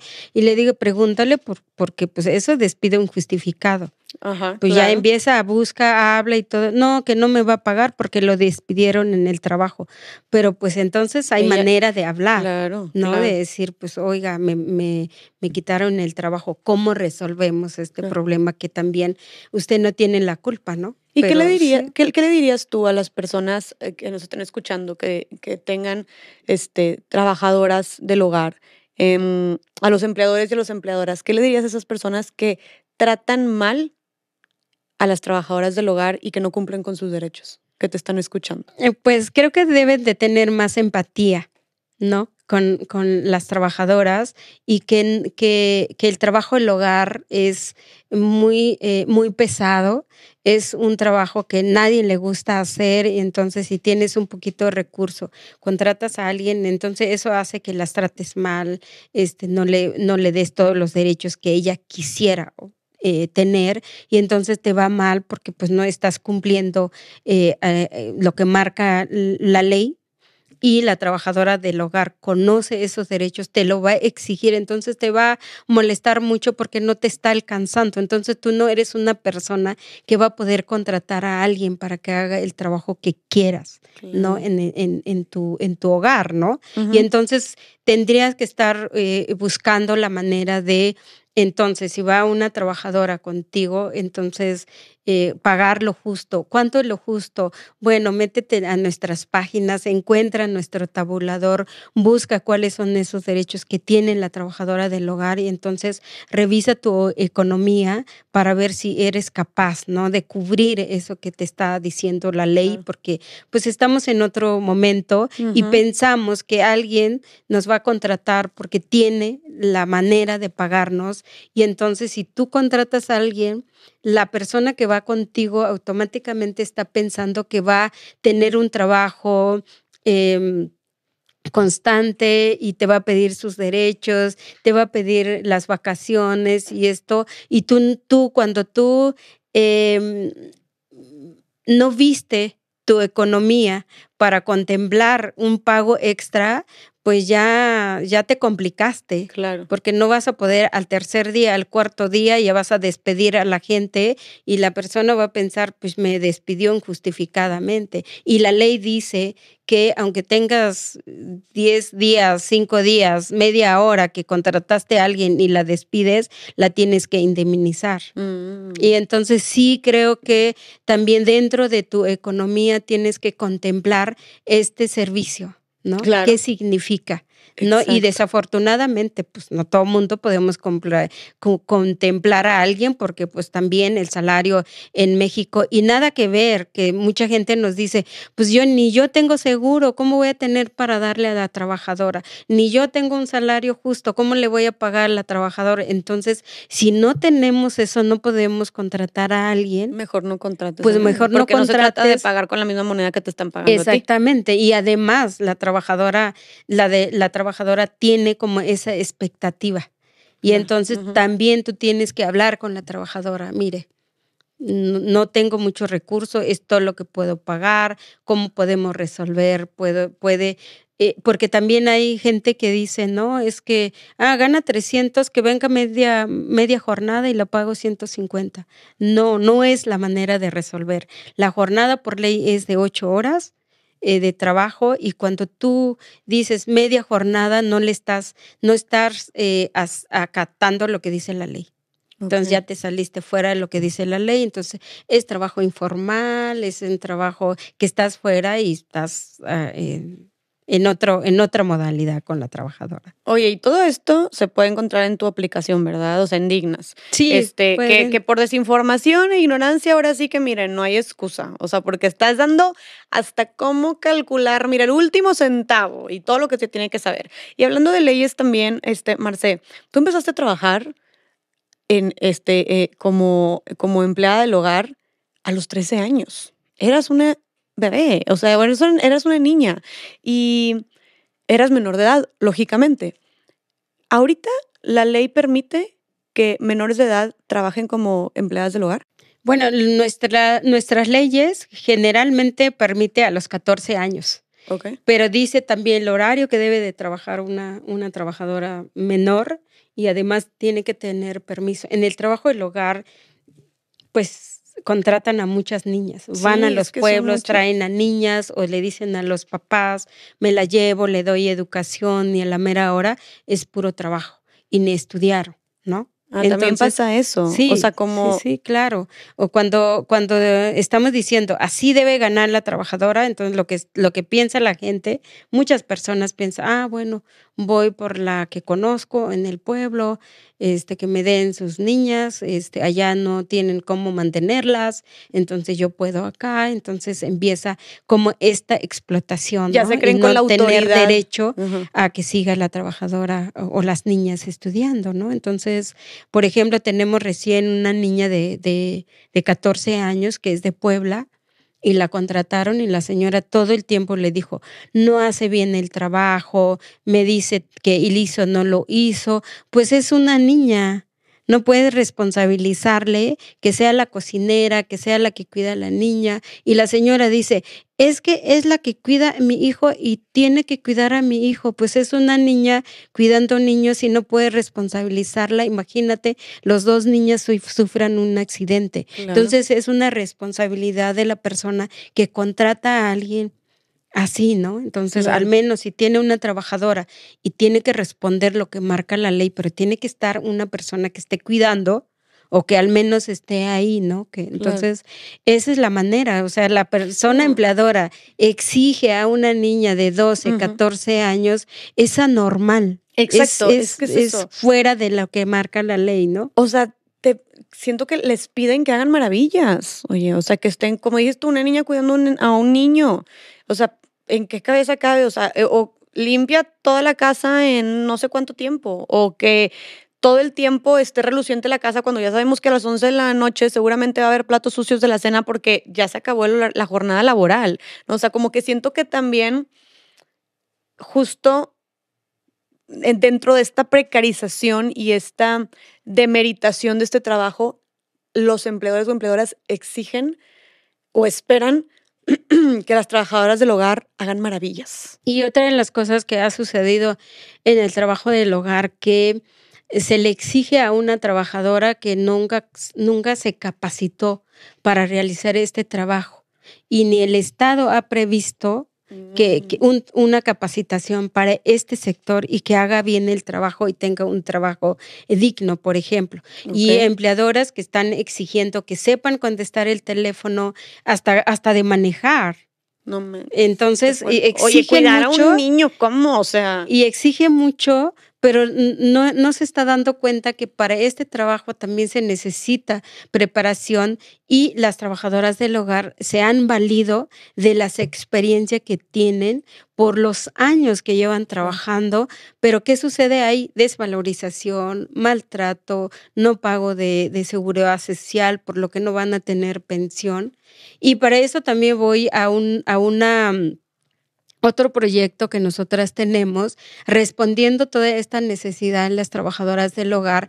Cuando surge CASE, uno de los proyectos que teníamos era crear la primera escuela de capacitación para las trabajadoras del hogar, pero pues sin recursos o sin muchas eh, eh, formas no, no podíamos eh, concretar ese proyecto. Y ahora poco a poco estamos concretando y recientemente vamos a poner una casa donde vamos a profesionalizar a las trabajadoras en las técnicas del trabajo del hogar para que cobren lo que vale su trabajo y se reconozca su trabajo como, bien remuneradas. Y que se lo reconozcan ellas, ¿no? Como que sepan que esto es toda la preparación que yo tuve, me tuve que preparar, tuve que aprender, tuve que estudiar, tuve que practicar, pues mínimo, o sea, que tengan esta seguridad de ellas de también exigir lo que merecen, ¿no? Y no aceptar menos. Me parece espectacular esta preparación y porque sí, a ver, te pones a pensar y, oye, a ver, o sea, por favor, no, todo el mundo, o sea, es, tiene su chiste, gran chiste, el, el, cocinar, el lavar un baño, el lavar una regadera, el este, saber cómo limpiar o fregar bien un piso, una pared, o sea, es, es, todo un tema, ¿no? O sea, sí, además es, eh, además, em, hay, hay, lugares donde colocan las trabajadoras del hogar y no,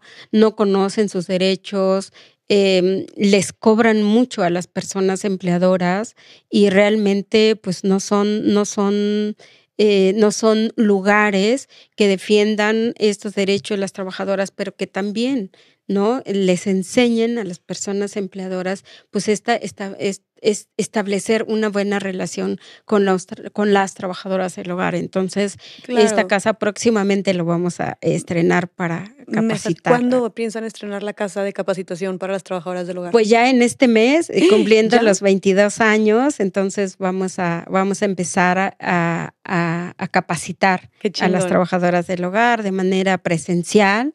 Esperemos que... ¿En Ciudad de México? Sí, en la Ciudad de México.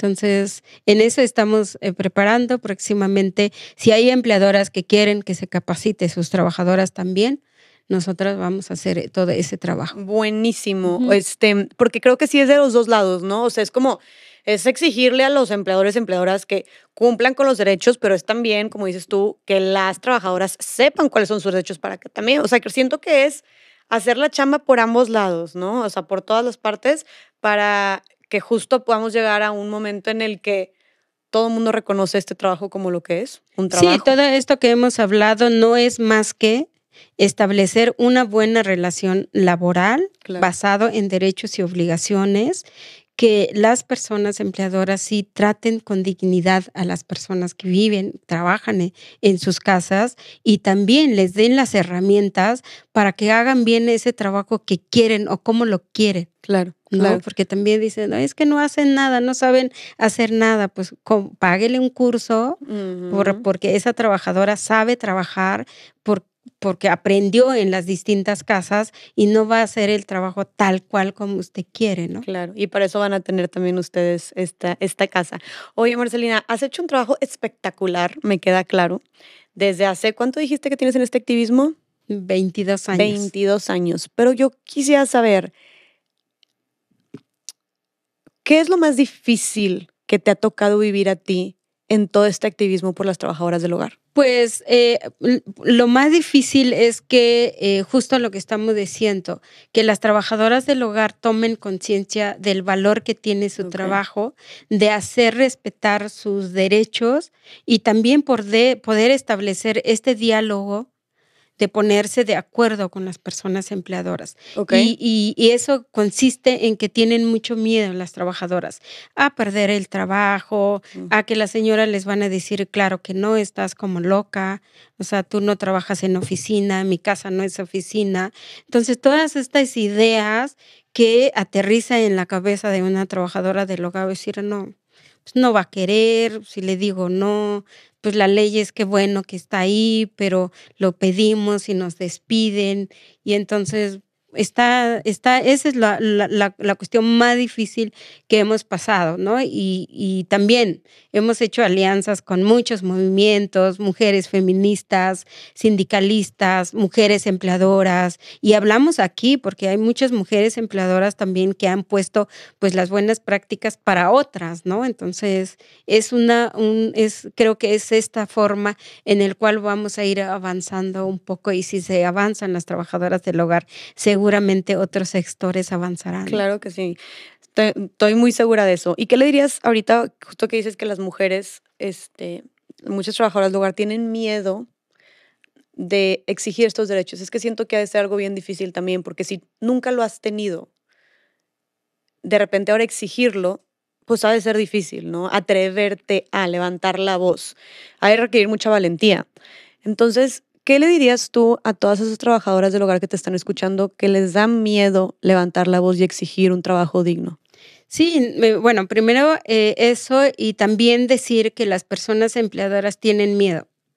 Tienen miedo porque ya, ya, ya hicimos una revolución de la revalorización de nuestro trabajo, nuestros derechos. Hay una ley que, hay leyes al cual tener que asumirlo. Entonces luego nos dicen, no, no quiero contratarla porque me va a demandar. ¿no? Y es que me va a exigir, y es que esto, y es que si el seguro social, y es que si nos van a embargar. Bueno, pues eso, ¿a quién le sucede? Quien no paga, ¿no? Y entonces yo creo que también eh, la, claro, entonces la, la, persona empleadora y tanto la empleadora como la trabajadora, pues a sacudirse el miedo y empezar un poco a poco, ¿no? A cambiar esta cultura que sigue rodeando el trabajo en el hogar, dentro de, de, de las casas. Entonces, pues eso, ¿no? Cómo, cómo reconocernos que pues lo que, lo que necesitas tú a lo mejor no es lo que yo necesito, porque estamos en diferentes eh, niveles, digamos, pero pues yo busco un trabajo digno para mí porque de esa manera voy a, voy a, voy a sacar adelante a mi familia y tú, te, tú como persona empleadora tienes que sentirte orgullosa porque le estás ayudando a alguien. Claro. Dándole trabajo, otorgándole, eh, poniéndolo en un espacio digno donde un Estado no lo cumple. Está siendo parte de un cambio positivo, o sea, estás dignificando el trabajo de alguien más, eso es súper valioso y eso es un cambio revolucionario y es apostarle a una mejor sociedad, punto. Y a ver, también para lo, como tú dijiste, para los empleadores y empleadoras, el que nada de nada teme, o sea, no tienes por qué temer mientras cumplas tu deber, ¿no? Hasta rimo eso. Oye, Marce, ¿y qué es lo que te, o sea, este activismo ha sido duro y tú empezaste a los 13 años siendo una trabajadora del hogar.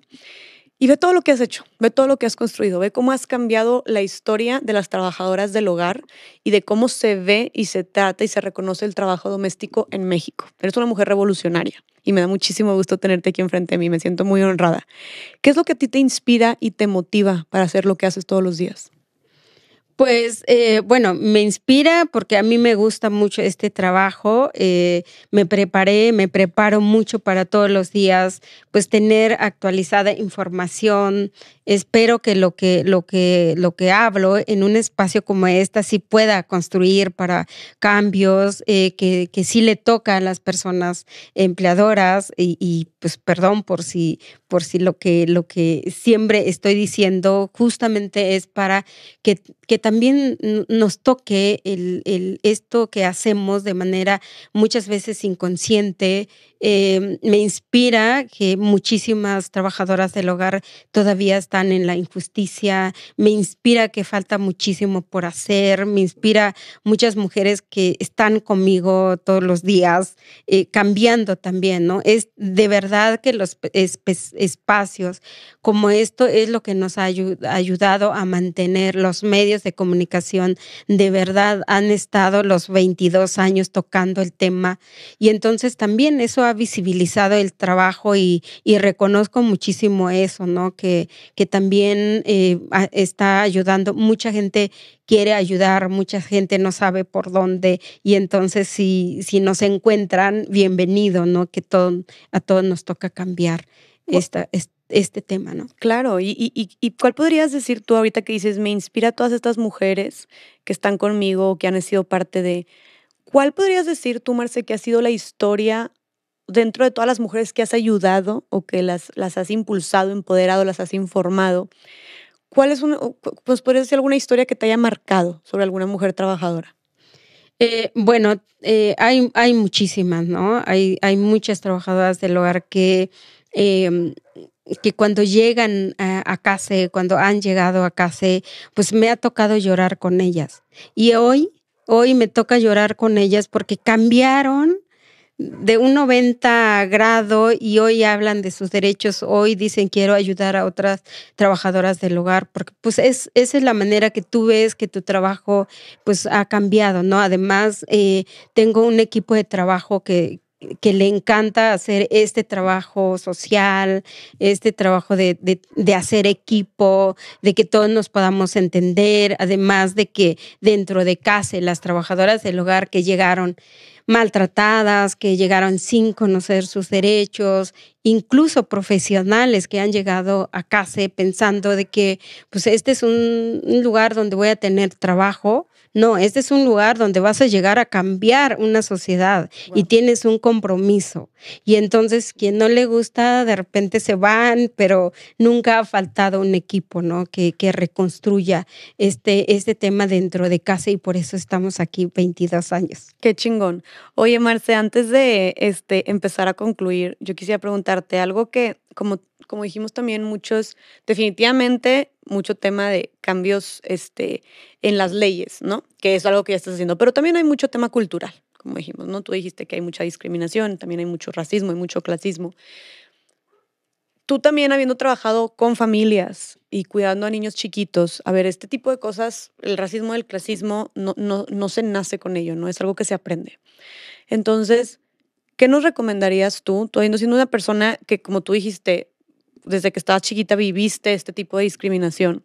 ¿Cómo podemos educar a nuestros hijos o hijas o futuros hijos e hijas para que crezcan sin ser personas racistas o clasistas? Pues es parte de la educación, donde tenemos las personas que repensar qué es aquello que estamos haciendo inconscientemente y después nos dimos cuenta que es discriminación o alguien dice esto es discriminación y entonces dice, oh, todos los días hago eso ¿no?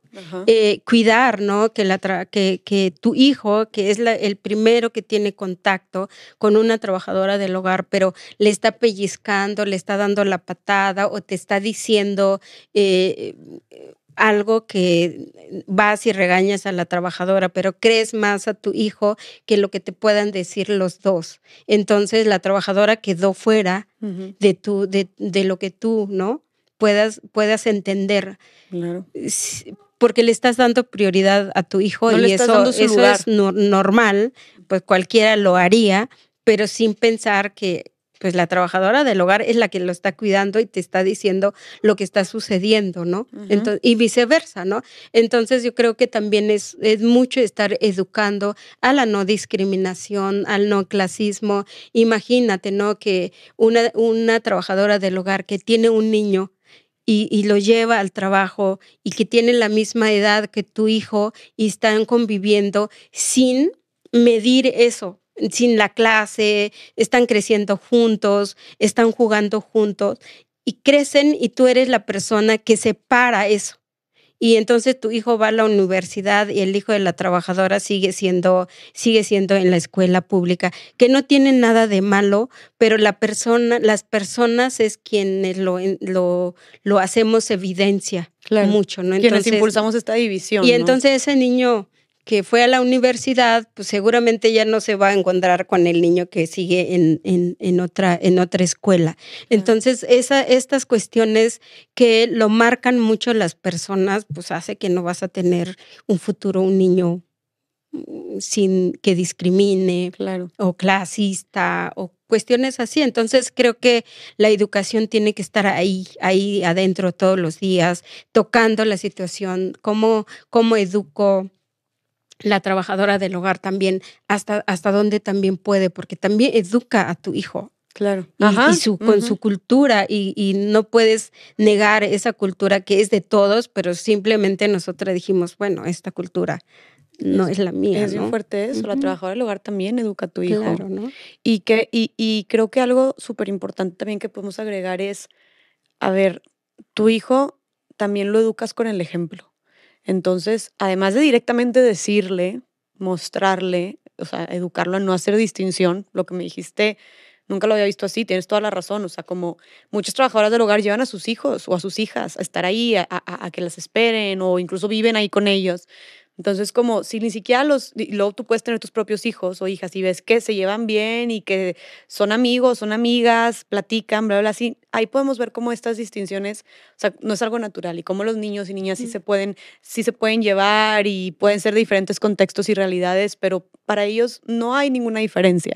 Entonces, como permanecerlo y mantenerlo así, pero creo que como lo que decía es que tu hijo o tu hija vea que tú no eres racista, que tú no eres clasista, creo que es una manera muy poderosa de no hacer que tu hijo sea clasista o racista, ¿no? O sea, que, que vea que tú no haces distinciones, que tú no le hablas mal a la, a la, trabajadora este, del hogar, vea que tú no estás excluyéndola este, de alguna manera, que, les, que la, tratas con dignidad y le hablas bien y respetas sus horarios. O sea, siento que con este, o sea, predicando o educando con el ejemplo es la mejor manera en la que podemos eh, criar eh, futuras generaciones de hombres, de mujeres que empiecen a romper todos estos tratos, todas estas ideas que tanto daño nos han hecho de división, de, discriminación, de marginación, etcétera, ¿no?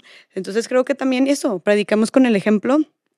Eh, y, y bueno, Marcelina, más para recapitular, ya dijimos, obviamente parte del cambio en la educación y parte del cambio es este cumplir como empleadores, empleadoras, los derechos de, nuestros de, de las trabajadoras del hogar.